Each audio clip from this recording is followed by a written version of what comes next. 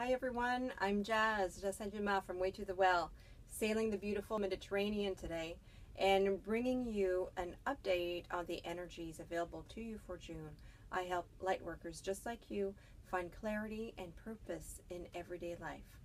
The first card that I picked today for the month of June, and again, I'm using the Denise Linn Soul Coaching Oracle cards um, that you can find at your bookstore, online, and at Hay House. So the first card that I picked for today is gratitude. Just remember that, especially for this first week of June, it's a glorious time to be alive. Take time to enjoy life. If you can, go find some sun and have a bit of a trip, just like I'm doing this week. Um, do so because the more grateful that you feel, the more life brings you opportunities to be grateful for. So Enjoy life to the fullest wherever you are in the world this week. It's very important. It's going to prime the pump for more success and more abundance in your life. So when you're grateful for every little thing, the universe knows that you appreciate what it's doing for you and it's going to send more your way. For the second week of June, oh, here's a card that just what came out of the deck and it's commitment. So for the second week of June, focus on um, clearing your schedule.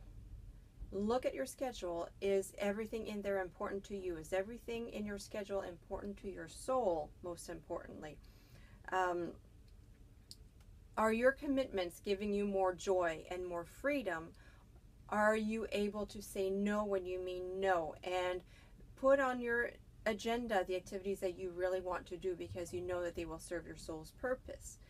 This is the, the kind of spring cleaning that you'll need to do on the second week of June. Focus on what's really important for you in your life and in the development and sustenance of your soul. In the third week of June, uh, two cards.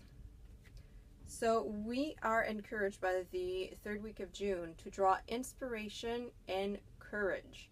So if we keep being grateful for everything that we have, and then we commit to bring more of these joyful actions in our schedule and actions that contribute to the growth of our soul, then we will see an increase in inspiration because when we do what it is that our soul really wants us to do, that we do our soul's calling, there's a surge of inspiration that comes up for us. So there's more creativity, and all this creativity, it enables us to go over obstacles, to climb over mountains, to move what needs to be moved so that we can really reach our full potential and then really live our life with courage we need to beat our own drums. We need to tell ourselves how wonderful that we are and how needed that our light is in this world.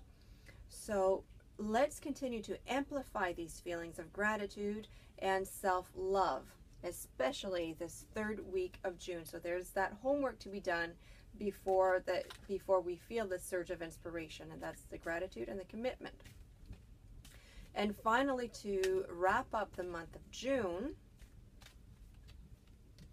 we have abundance. How wonderful is this? So if we're really true to ourselves, and I think that all the cards, they talk about our authenticity. So if we're really grateful for what we have and we remain authentic to what our soul needs, remain authentic to to what brings us joy, to how we can contribute to the world, and the universe is going to bring this energy back our way. So there you go, very quick. It's, it's been a five card reading since the two cards came out for the month of, for the third week of June.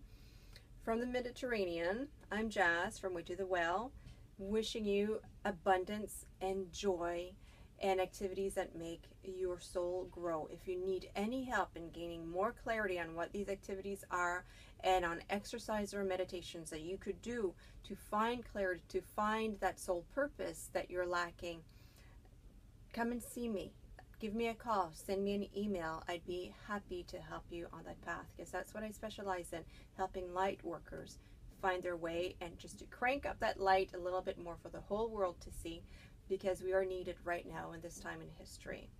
Sending you lots of love from the Mediterranean. Bye now.